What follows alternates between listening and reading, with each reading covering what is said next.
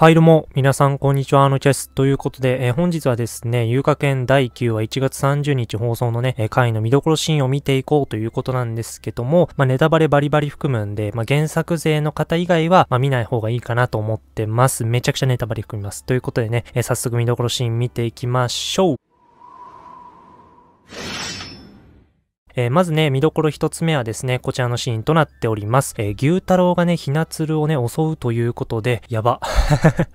え、やばくない？え、大丈夫なん？えひなつる襲われるの？え、やば。いや、ここの辺ちょっと怖いですね。そしてですね、炭治郎がそれを助けるということみたいなんですけども、いやー、楽しみですね。うん、牛太郎がま本格的に怒り出してくるのかって感じだと思うんですけども、ひなつるね、大丈夫なのかな？ちょっとその辺も原作ちょっと忘れてしまったので、え楽しみですね。はい。で、まあ、二つ目の見どころシーンなんですけども、こちらですね、えうずいと炭治郎が牛太郎の首を切りそうになるんだけども、ギリギリのところでね、まあ、防がれてしまいいますよということなんですけども、いやいやいやいや、この感じやばくね？うん、なんか、すごい両方から刃が入ってますけど、それを防ぐ牛太郎ということでね。いや、なんかだいぶ激アツですね。いや、前回といい今回も、そんなに激アツな戦闘シーンを繰り広げてくれるのかということでね、UFO さんのね、過労が心配ですけども 作画のね、もうちょっと大丈夫なんかって感じなんですけど、アニメーションね、作ってるの本当に大丈夫なんかって感じなんですけども。いや、多分この辺とかも戦闘シーンやばいんじゃないかなと思ってるし、展開っていうところも楽しみですよね。前後の展開。どういう風になってこうなったのかっていうところもちょっと楽しみとなっております。はい。でですね、三つ目の見どころシーンなんですけども、こちらですね。まあ、伊之助がダキの首を切る。え？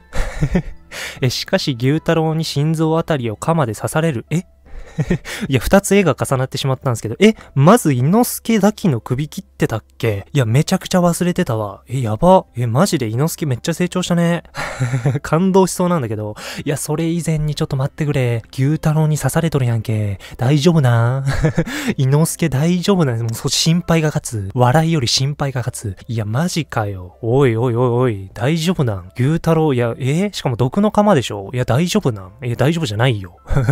え？いや、伊之助さ、でもまあ山育ちとはいえさ、これちょっと、心臓あたりでしょ？え、結構致命傷になるんじゃない？やばくない？え？で、前後関係、まあどんな感じの戦いがあって、まあ伊之助が首を切るに至ったのかっていうところも楽しみだし、牛太郎がちょっとと、バチバチにね、上限かましてますね。それもそれでちょっとやばいしね、そっちの方行っちゃったんだんだって感じですよね。牛太郎炭治郎たちと戦ったのにどこ行ったんだって感じで。いや、何があったんですかねちょっと楽しみですね。やばいわ。で、まあ、4つ目の見どころシーンかな。えー、4つ目の見どころシーンはですね、こちらですね。まあ、渦井が左手を失うということで、え大丈夫なん？えちょっと次回やばくね？え何これ？え？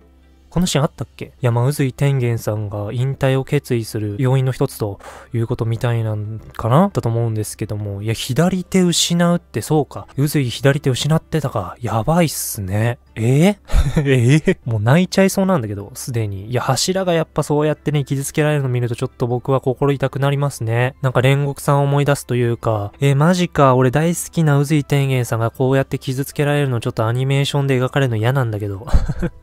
もう涙出ちゃいそうだしさ。いや、炭治郎の反応とかもちょっと、うん、怖いですね。うん。まあそういうところを見て炭治郎は、だいぶ怒るというか、まあだいぶ悲しむと思うので、そういう反応を見るとね、こっちもちょっとうるっとくるというか、うわーっていう絶望感にね、結構苛まれそうな、まあそんなシーンですかね。そしてちょっとうずいさんうずくまってってますけども、命大丈夫なんかっていうところも心配ですね。まあネタバレっていうかまあその先の展開はもちろん知ってはいるんですけども、うずいさんでもね、ちょっと怖いですわね。一応さ、まあまあまあまあ生きるってことは知ってますけど、それでもちょっとうずいさんこういう状態になっちゃってるのは、まあまあまあまあなんか怖いよね。うん、展開知ってるとはいえ、ちょっとこの感じ怖いよね。うん、まあ特にアニメ勢の方とかはすごい驚くんじゃないかなと僕は思ってるし、いや僕も原作勢だけどこのシーンはだいぶ衝撃的なアニメのシーンになるかなと思ってますね。はい、ちょっと楽しみだけど怖いです。はい。で、まあ、見どころシーン5つ目なんですけども、こんな感じですね。まあ、炭治郎が牛太郎の首や刃を振るうということで、え？それもそれでやばいで 怒って、まあ、牛太郎に攻撃したのかな？いや、なんかすごいことになってない いや、すごい。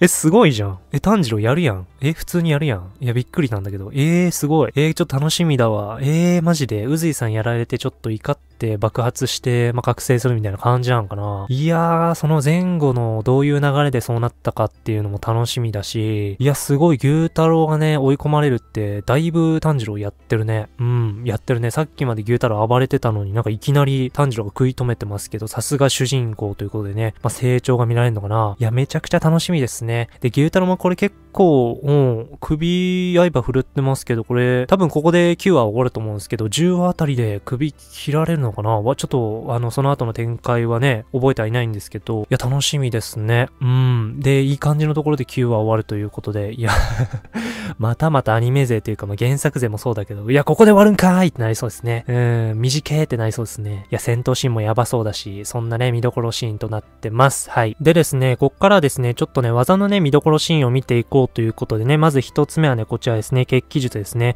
えー、演算旋回飛び地釜。何これ？これアニメ化すんのめちゃくちゃ楽しみなんだけど、何これ？え？ー、え、これめちゃくちゃ楽しみなんだけど、めちゃくちゃかっこよくない？うん。で、これがまあ赤いエフェクトに変わるっていうことなのかな？うわー、ちょっと楽しみだわ。本当に決起術もすごいしね。で、まあ続いてのね、技の見どころなんですけども、こちらね、まあ、音の呼吸死の方。氷山無限かな？やば。これめちゃくちゃやばそう。えー、前回のさ、あの音の呼吸の名言操作もさ、めちゃくちゃやばかったけど、今回は割かしビッグな感じで、いや前回こう素早くね、ちゃってね、もうほんと一瞬だったんですよ。えー、名言操作は一瞬しかシーンが見れなかったんですけど、今回はだいぶ大きく見れそうですね。画面の中心でボーンみたいな感じで、だいぶ一瞬というよりかは、まあ普通に大きく見れる技なんじゃないかな。まあ音の呼吸数少ないんで、まあちょっとその中の見どころとしては結構いいシーンとね、えなってますね。楽しみですね。はい。で、続いて、これやばいね。水の呼吸と日の神神楽の混ざり技ということで、えー、どうなんのこれアニメで。やばいね。これアニメでマジでどうなんだろうね。いや、多分書くのめちゃくちゃむずいんじゃないかな、アニメーション。いや、混ざり技でしょ？いや、だいぶ結構凝った演出というか、まあ、クオリティになるというか、エフェクトになるんじゃないかな。いや、これだいぶちょっと楽しみですね。いや、めちゃくちゃ楽しみだわ。いやー、ここちょっと興奮しすぎて発揮をしそうですね。で、続いてこちらですね。まあ、毛玉の呼吸、8の方かな？え爆裂猛進ということでね。うん、伊之助の技もね、初技出てきましたね。楽しみですね。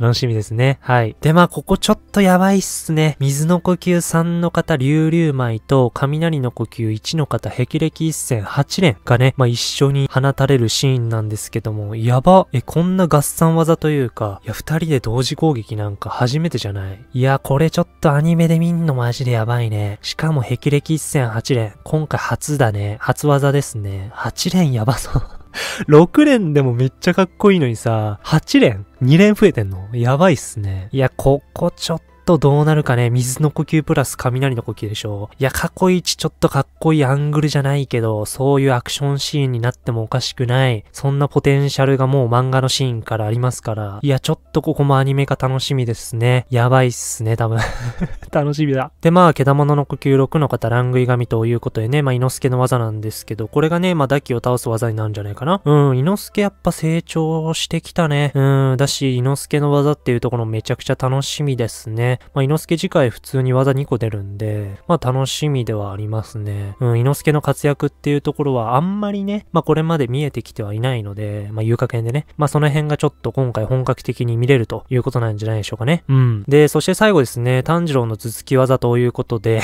おい、お前鬼に向かってもそれやってるんかいって感じなんですけど、いや、炭治郎、お前また続きしてんのっていうね、もう一つの技になってますよということでね。いや、お前炭治郎牛太郎かなこれね。牛太郎に向かってこの技繰り広げてんのはちょっとやばいって。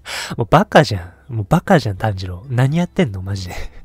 普通におかしいって。うん。ちょっともうギャグっぽいシーンですけど、でもまあ結構緊迫感のある次回となってるんで、まあその中の炭治郎の唯一のボケだよということで、まあボケではないんですけどね、まあ唯一のボケっぽいシーンだよということで、まあ一回だけマイルドなシーンがね、あるということで、まあここで笑いましょう。うん、多分他に笑えるシーンはないと思いますね。ほんとギャグがない回っていうのはマジで結構久しぶりというか、まあ前回もギャグなかったですけど、まあ大体いつもね、1回ぐらいはギャグあるんで、まあ鬼滅ギャグない回は結構すごいよね。うん、マジで最高の作品かなと僕は思ってってます。はい、ということでね、第9話こんな感じで、ちょっとやばそうだよね。いや、見てきたけども、こんな見どころシーン満載というか、過去1じゃないかな、こんな見どころあるの。でも第9話本当に伝説会になりそうですね。はい、ということで楽しみだよという方はね、高評価、そしてチャンネル登録、コメントなんかもよろしくお願いします。てことで、次回の動画でお会いしましょう